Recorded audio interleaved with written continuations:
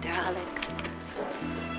Julie, Gopher, I'd like you to meet my ex-ex-ex-ex-wife, the incomparable Betty Bricker. How do you do? How do you do? So nice, Nice to to meet you. Well, it won't be Bricker much longer. Adam, I'd like you to meet the incomparable Lance Wilson, my betrothed. Believe me, darling, it wasn't easy to replace you, but then Lance came along, and he's so immensely wealthy and successful. And, of course, when it came to looks, there was no comparison. Uh, welcome aboard, Lance. Hey! hey, nice bathing suit. Thank you. I bought it in the men's shop. All I did was sign your name. Yes, I'm not made of money. Nobody in theater expects an actor to supply his own wardrobe. Mm. Oh, well, it's just a bathing suit. And a new tuxedo and dress shirt. Lance!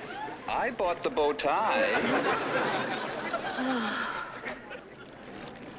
Oh, by the way, we're having dinner at the captain's table tonight. Eight o'clock sharp. Really? Mm-hmm. I wonder what time it is now. A watch, too? That's a very important prop. Take it back. What's my motivation?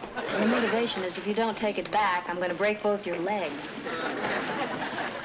That works for me.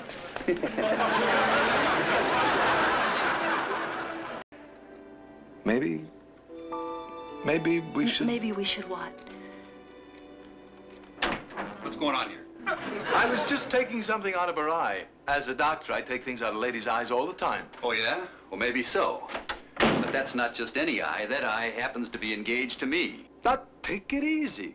Look, buddy, you may be good at taking things out of eyes, but my specialty is putting things into eyes, namely my fist.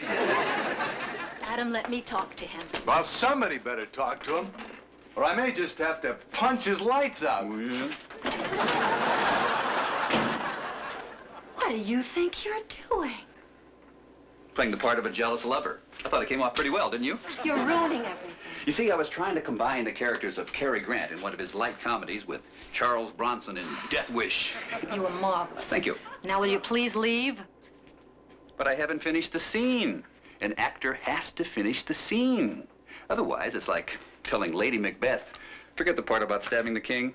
Hmm. All right, Lance. We'll both go. Well, I'm glad you understand. Because if Lady Macbeth doesn't stab the king, she is nothing but an ordinary dissatisfied housewife.